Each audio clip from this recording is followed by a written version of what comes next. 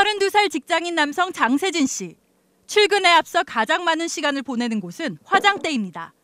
스킨, 로션은 물론 잡티를 없애주기 위해 바르는 비비크림에 자외선 차단제까지 16개의 제품을 바르고 나니 준비가 끝납니다.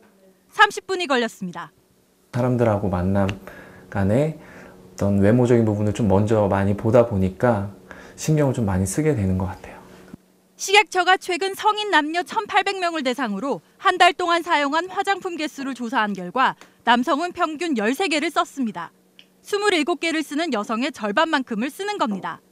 쓰는 제품도 자체로와 선크림을 바르는 남성이 50%를 넘었고 5명 중 1명꼴로는 수분크림이나 에센스, 비비크림 같은 미용 제품도 쓰는 것으로 조사됐습니다.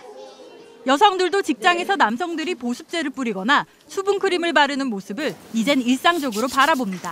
요즘에는 뭐 남성들도 화장품을 많이 사용하고 관심을 갖고 쓰고 있잖아요. 그래서 뭐 딱히 뭐 거부감이 든다거나 이렇지는 않은 것 같아요.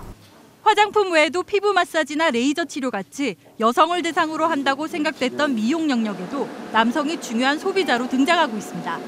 MBC 뉴스 김나리입니다.